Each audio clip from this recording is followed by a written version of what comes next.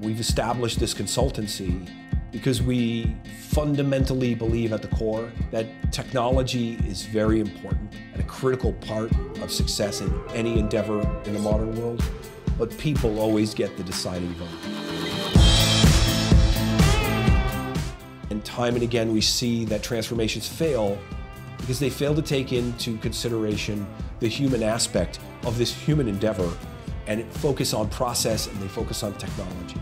And we felt that that was a space in which we could make a, an appreciable difference uh, and help companies who are in the midst of these transformations stay focused on the daily grind of delivering shareholder value while still transforming their organization. So it's not really an either or proposition.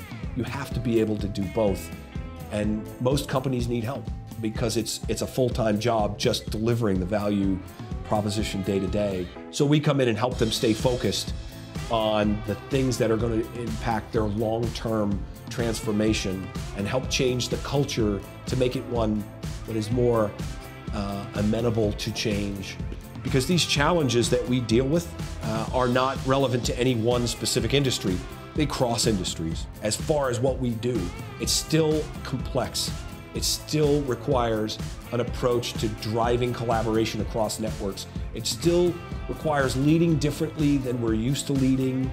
Uh, it's a new way of looking at the world, and it's about culture.